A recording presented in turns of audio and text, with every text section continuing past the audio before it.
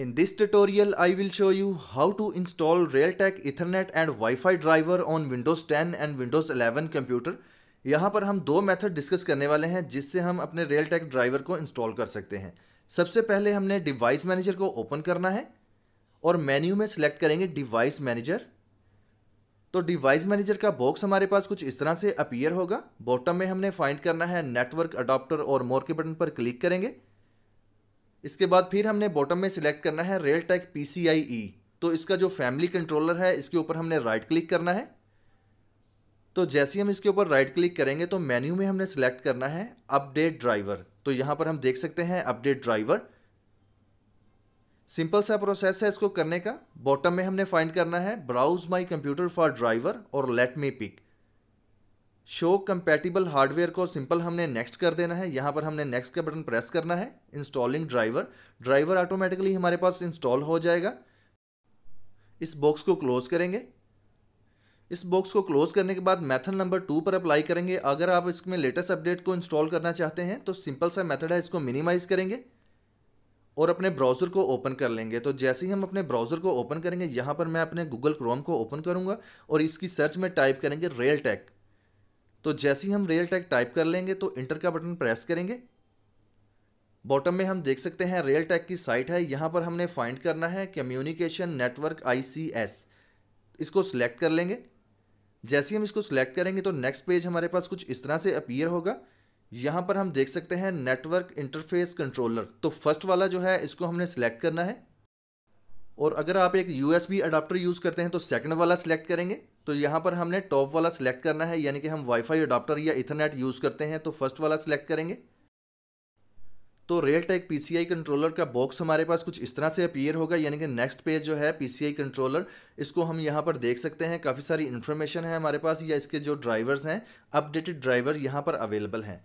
तो बॉटम में भी हम देख सकते हैं, काफ़ी सारी जो माइक्रोसॉफ्ट विंडोज़ हैं, उनके तमाम ड्राइवर यहाँ पर अवेलेबल हैं। विंडोज़ एक्सपी विस्टा या विंडोज़ सेवन यहाँ पे जितने भी या विंडोज़ सर्वर यहाँ पर तमाम जितने भी ड्राइवर्स हैं, वो यहाँ पर अवेलेबल हैं। आपने क्या करना है? टॉप पर आना है Windows ten Windows eleven auto installation program यानी कि एनडीआईएस इसको हमने डाउनलोड करना है। तो जैसे हम इसके ऊपर क्लिक करेंगे तो नेक्स्ट पेज में हमारे पास डाउनलोड फ़ाइल है, इसके ऊपर हमने क्लिक करना है, यानी कि डाउनलोड के टैब पर। क्लिक कर देंगे तो जैसे ही हम क्लिक करेंगे, इसके बाद नेक्स्ट पेज में हमने कैप्चा एंटर करना है। तो जैसे ही हम कैप्चा एंटर कर देंगे और सबमिट के बटन पर क्लिक करेंगे, जैसा कि हमने यहाँ पर कैप्चा एंटर कर दिया है और सबमिट पर क्लिक करेंगे तो फ़ाइल ऑटोमेटिकली हमारे पास डाउनलोड हो जाएगी। तो डाउनलोड मैनेजर में हम इसको चेक कर सकते हैं टॉप पर हम देख सकते हैं डाउनलोड हिस्ट्री में। तो जैसे ये फ़ाइल डाउनलोड हो जाए तो आपने क्या करना है, इस बॉक्स को क्लोज करना है। या इसको मिनिमाइज कर लेंगे, यहाँ पर हम देख सकते हैं। इन तमाम प्रोसेस को करने के बाद डाउनलोड फोल्डर में आएँगे और यहाँ पर इस फ़ाइल के ऊपर राइट क्लिक करेंगे, यानी कि इसको हमने एक्सट्रैक्ट करना है। तो इसको सिलेक्ट करके राइट क्लिक करेंगे और मेन्यू में सिलेक्ट करेंगे एक्सट्रैक्ट फाइल्स सिंपल सा प्रोसेस है एक्सट्रैक्ट फ़ाइल करने के लिए, यहाँ पर हम देख सकते हैं। सबसे पहले हमने डेस्कटॉप को सिलेक्ट करना है न्यू फोल्डर क्रिएट करना है और इस येलो फोल्डर पर क्लिक करके ओके कर देंगे।